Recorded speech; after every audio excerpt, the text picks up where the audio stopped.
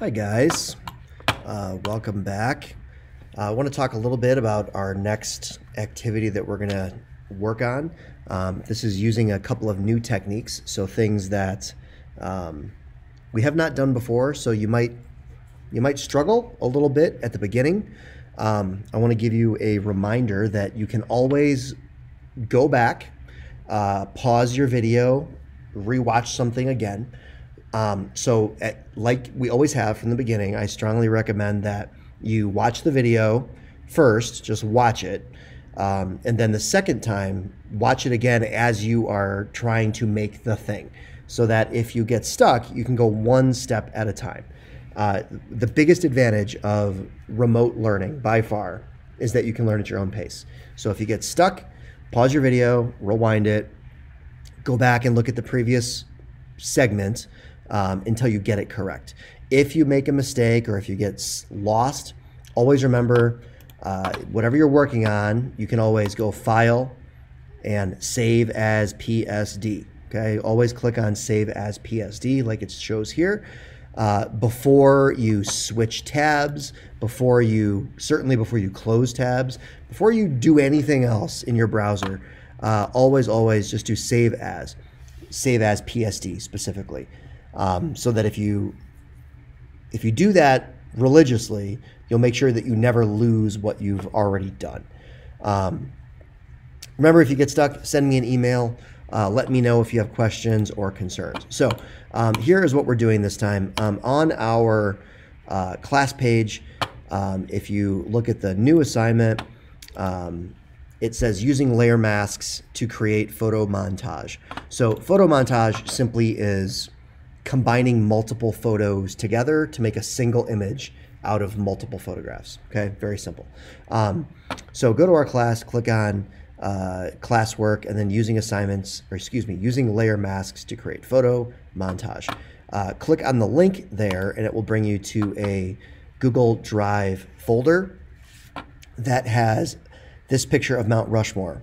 Okay, so we need to get this picture of Mount Rushmore into Photopea, Okay, here's my Photopea, here's my Mount Rushmore. Um, in this class, you should never, ever, ever be using screenshots. Okay, I'm getting a lot of people who are sending me pictures that are screenshots. You're turning in screenshots or you're getting stuff into Photopea by making screenshots. There is no reason ever to use a screenshot in this class. The only exception is if you're making specifically a shot of your screen so that I can see what you see. Uh, like if you have a question and you're like, I don't understand what's happening with my layers here, you can send me a screenshot of that. But you do not use screenshots to turn something in. You do not use screenshots to open something or to save something. Do not save by making a screenshot. Okay, that's a really bad idea. Uh, the only way you save in Photopea or Photoshop is file save as PSD. Okay, don't do screenshots. Okay, ever, ever, ever. Um, a lot of people I think are used to just using phones and tablets. And on a phone, a screenshot is a good way to save something, um, you know, an, an, image from a website or uh, from social media or something like that. Um, but it is not a good way to share pictures or to uh, to save something that you want to keep. Okay, so this is my picture that I want to save. The proper way to save this is to click on it with two fingers and then click download. Okay, um, you don't want to open it and then make a screenshot of this picture that pops up. Okay, the reason why is because a screenshot is almost always going to be way lower quality than the actual image is. When you make a screenshot, it's essentially making a new picture out of just what's on your screen. And in this case, this original file is much higher quality than a screenshot will ever capture. So don't use a screenshot, okay? So again, click with two fingers, uh, or if you're using a mouse, you might want to use a mouse, by the way. Um, if you have a mouse at home, a USB mouse, you can connect it to your Chromebook, uh, and you can use it. Um, I should also add, you don't have to use your Chromebook to do these assignments. If you want to use like a regular desktop or a laptop of some sort, um, you absolutely can. uh, Chromebook is okay and it will work, but um, the Chromebooks are kind of underpowered for what we're asking them to do. Uh, if you have a nice desktop or laptop computer and you want to use that for Photopea, you'll probably find it works a lot better. Um, so up to you if you want to try that or not. But I do recommend you might want to try a mouse. It's not required, but it does help, I find. So uh, right click with your mouse or click with two fingers and then click download. Okay. Uh, then open up Photopea and you're going to go File, Open, and find the file that you downloaded. Okay. Most likely it will be in your folder that says downloads. In my case, there's mine. Okay.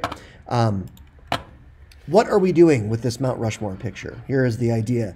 We are going to be taking Mount Rushmore and using a technique called layer masks, we are adding four new heads to Mount Rushmore. Okay. Um, these obviously, uh, I went on Google and I just typed in like hottest male models 2020, and this is what popped up. Um, actually, no, that was from 2019. Uh, for 2020, I made a new one. Um, every year, I like to make a new Mount Rushmore. This one was 2019, uh, but it gives you kind of an idea of what we're going to be making. Um, let's close it. We don't need to see that anymore. Uh, here is the one that I made for 2020. So my 2020 uh, Mount Rushmore has um, Dr. Fauci and Notorious RBG and Joe Exotic and Sad MJ. Okay.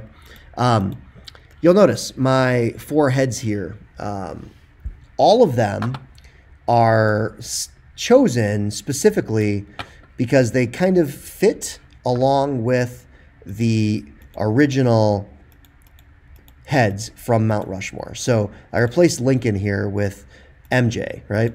And he's looking kind of in the same direction. It's not identical, but uh, close enough that I can swap that head in there and it looks pretty good.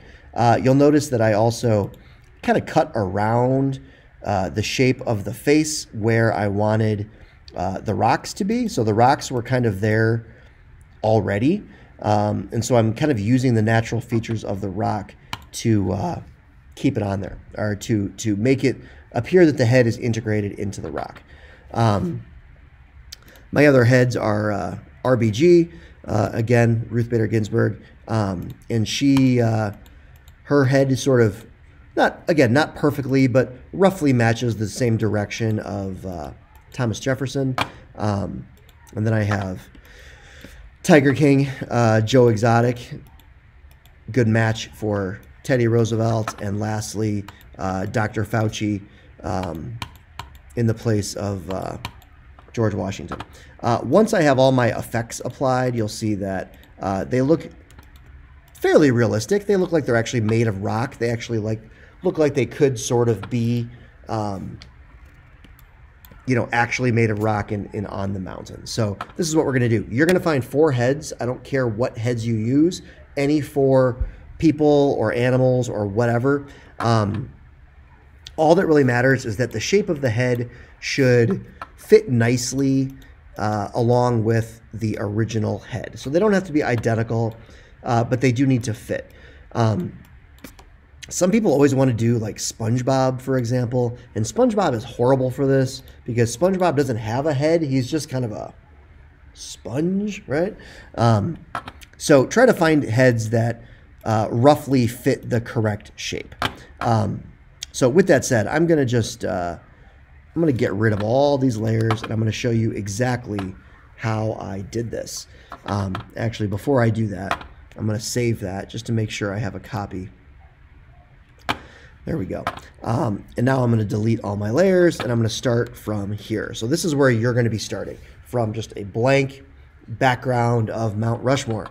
Um, so if you haven't already, just go to File, Open, and open that file that we just downloaded earlier from over here. Okay, so here is my Mount Rushmore. Now, I am going to find a head to replace, let's say, uh, President Lincoln here. Okay, so I'm going to make a new tab and I'm going to search for, um, I don't know, what's, uh, what's a good name in the news this week? How about, uh, how about, uh, how about if I just do face. I'm just going to search for a face. Um, you can literally choose any face that you want that roughly fits the shape and size where we need to put it. There are some very interesting faces here. Um, how about it? There's all kinds of interesting stuff. How about this one? We're going to use this one. We're going to use the Zuck. And I think the Zuck is uh, actually quite a good fit here for uh, for Abe Lincoln. So we're going to replace Abe Lincoln with the Zuck. Um, so I'm going to use this one. Uh, to get this picture into this tab, all I have to do is click with two fingers on the face or on the picture and say copy image, copy image. Okay. When I come back to Photopea, I'm going to go edit, paste. Okay. So there is my new picture. Now, obviously it's in the wrong place. Obviously it's the wrong size and obviously it has the background behind it. So what am I going to do? Um, on my tools over here at the very top is the move tool. This one right here, this arrow is the move tool. Okay. Um, this will allow me to move whatever layer I currently have selected. So if I'm on the background, it'll move the background. If I'm on my Zuckerberg layer, it will move Zuckerberg. Now, it is possible that the picture that you pasted in uh, could be either way too big, like this, where you paste it in and it fills up the entire picture, um, or it could be way too small. There's no way of knowing until after you paste it in. Um, actually, there is a way of knowing. When you look at the picture, right here, it'll show you the size of it. That'll give you some indication of how big it's going to be when you paste it in. Um, but there's mine. Okay, so let's say I, I pasted in my Zuckerberg, and there he is. I need to shrink it down. Okay, so to resize your picture, the way that you do it, uh, you use your Move tool, which is up here at the top. Okay, it's this arrow. Um, and then right up here at the top in my uh, option bar, there's a checkbox that says transform controls. I'm going to turn that on. When I turn that on, I will get a box that I can grab and shrink my picture. Okay. Um, if your picture is a, a reasonable size, you're going to see all four corners of it and you can grab any of those corners to resize your picture. Okay. Uh, if your picture is humongous, like that, you might not see the sides of it. You might not actually see those handles. Uh, if that's the case, all you have to do is zoom out. Okay. If you zoom out, make your picture smaller, then you should be able to see those corners. Okay. To zoom out, you can press Control minus on your keyboard you can use the zoom tool down here at the bottom to zoom in uh, or hold Alt to zoom out. Okay. Uh, you can also pinch to zoom just like you would with a, a uh, phone or a tablet, um, just like that. Uh, so here is my layer. I'm going to shrink him down. Uh, now, when you are resizing things in Photoshop, uh, particularly faces, it is very important that you don't squish or distort the face. So you don't want the face to look like that or like that. Okay. Um, we people, we humans, unlike certain people, uh, we humans tend to be very well attuned to facial proportions. So if you try to resize it and you squish it a little bit so that the face is too wide or too tall or whatever, it, it's very obvious immediately, okay? Um, and it's not really a good thing. So when you resize something in Photoshop, always, always grab the corner, like so, and hold the shift key. So as you resize, if you hold the shift key while you're resizing, uh, you'll notice it keeps the shape the same. It will not distort it. It will not um, make the face look strange in any way. So hold that shift key as you're resizing it, and you'll make sure that your head is a nice, correct proportion. Okay. Um, so here is my Zuckerberg layer. All right, I'm going to zoom in on uh, Zuckerberg here a little bit. I need to get rid of this background. Okay, so I've got my picture. It looks okay. The size is about right. Uh, but I've got all this background around it. So I want to get rid of the background. Um, by the way, if you're confused at any point already, just rewind the video, go back, make sure you can get to this point where you have a layer like this with your picture on it. Okay, all I did was paste it in there. If you're confused, go back, rewatch that part. Um, moving and resizing. Use your move tool and your transform controls up here at the top to make sure that you can resize accurately. Okay, so there is my head that I'm going to cut out.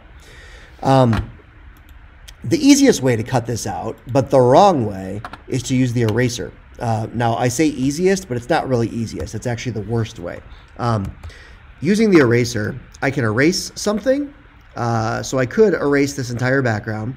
Uh, the problem with using the eraser is that it is permanent. Okay, once you do it, uh, there's no going back. Now, before you say it, I know. Yes, I can push Control Z and undo it.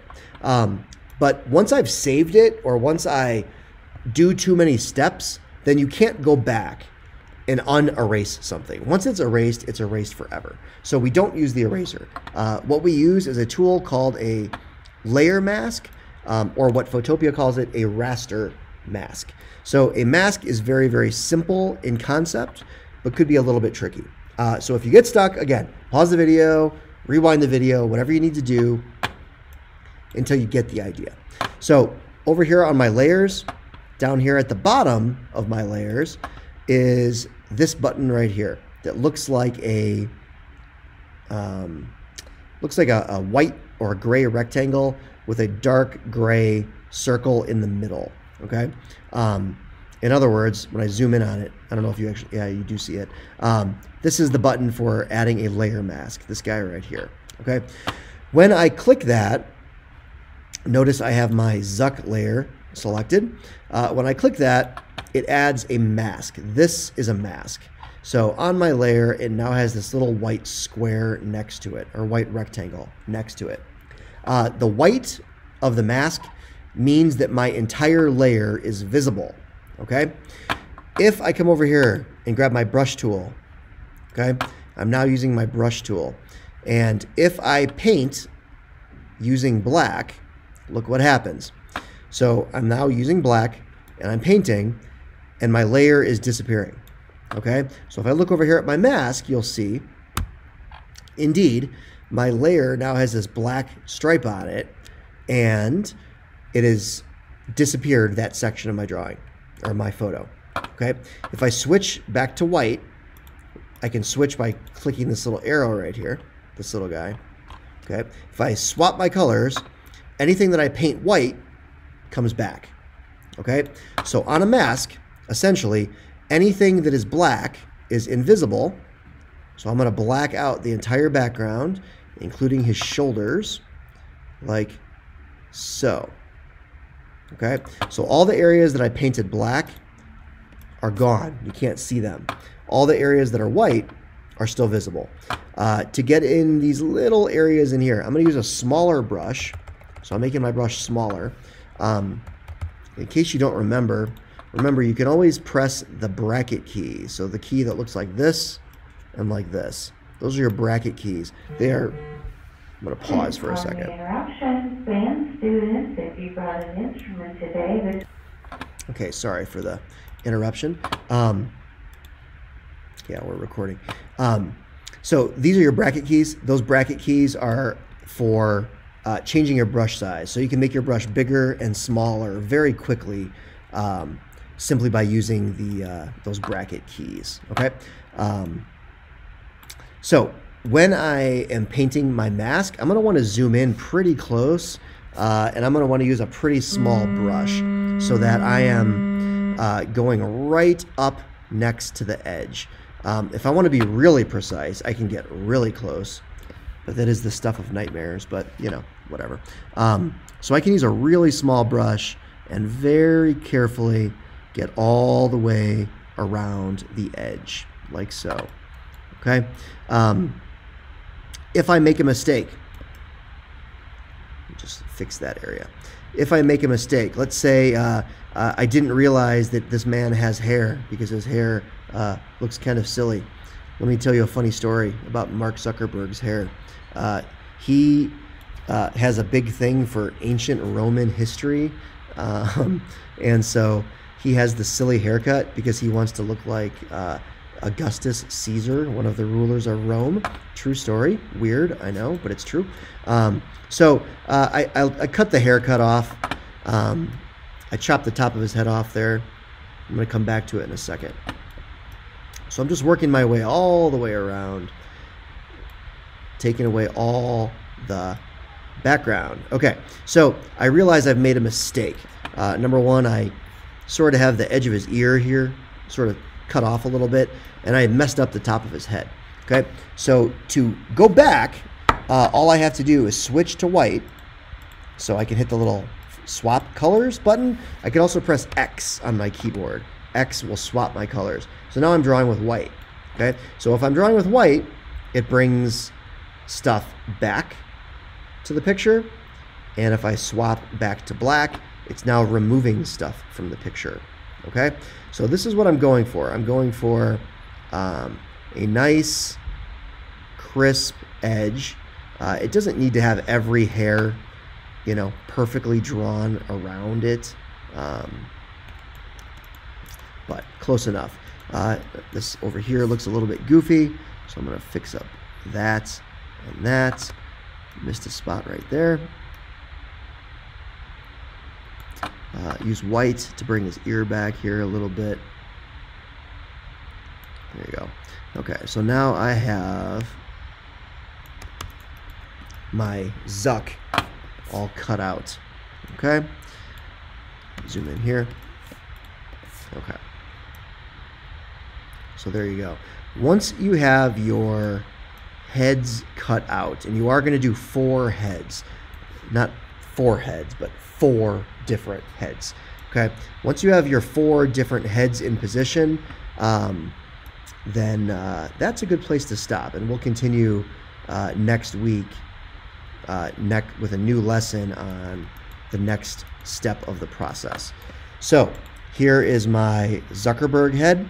Uh, I'm going to put it right where Abe Lincoln is. Now, you'll notice it's not quite the right size. I might want to make him just a little bit smaller. So again, as long as I have my transform tools uh, selected up here, I can uh, shrink him down a little bit. Again, make sure you hold the shift key so you get the size correct. Um, I also notice it's not quite the right direction. I kind of want to rotate it a little bit. If I just take my, my pointer and just put it outside of the box, it turns to that kind of an arrow, and then I can rotate it a little bit. So I want to put that head right there. Okay, I'm going to come back here and alter my mask just a little bit more. A um, couple of things to, to keep your eye on. Uh, number one, be aware of what part of your picture you're editing. Okay, if I click on this guy right here, I'm actually editing the actual layer. What that means is if I draw, I'm actually drawing black. Okay, I don't want to do that. Um, if I'm on the mask, and you can clearly see which one is selected by looking closely, you can see it has a little uh, highlighted box around it. So if I'm on my mask, when I draw black, it's essentially like erasing. All right, so I want to fix the bottom down here. His neck looks weird. Um, I want to have the rock kind of go around his neck like so. So I have the edge of the rock right here, uh, which I'm going to draw in by drawing black. Okay, uh, and then switch back to white so that I am having just the part of him showing that makes sense that you would see behind the edge of the rock like so. Okay, so there you have it. So there is Lincoln and there is the Zuck. Okay, um, now when you're finished, what are you going to have to show for this? You're going to have something that looks like, let me open, downloads. By the way, uh, once you've completed a head, you're going to want to save. So go up to File and say Save as PSD. Okay, Save as PSD. Um, when you turn this in eventually, Uh, do not make a screenshot. Don't send me a screenshot. Don't share it with me. Just click Save as PSD, and that PSD file will be in your download folder. That is what you submit on Classroom. Okay, so make sure you click Save as PSD. Before I change tabs, before I switch windows or anything, I'm always going to save just to make sure I don't lose anything um, and I'm not wasting my time. Okay, um, so save as PSD. Um, but for me personally, I'm just going to open because what I'm looking for is this one. this one. So here is my finished, if you will, um, Mount Rushmore. I'm going to turn off all my adjustments here. So this is what you should have uh, at the end of this week, which is a Mount Rushmore with four nicely cut out, properly sized heads. Okay, don't worry about the colors. Don't worry about the um, the textures. Don't worry about any of that. This is what you're going to submit on um, Classroom. So go ahead and find yourself four heads. Uh, they should fit nicely. Copy and paste them, resize, and use the layer mask tool to make sure that they fit and look perfect. Uh, once you're done, save as PSD and submit on our classroom. If any of this was confusing, please just rewind to the appropriate place and watch that part again. A lot of people are sending me emails like, I don't understand what to do, but they're not telling me what they don't understand, or they're saying, it's not working.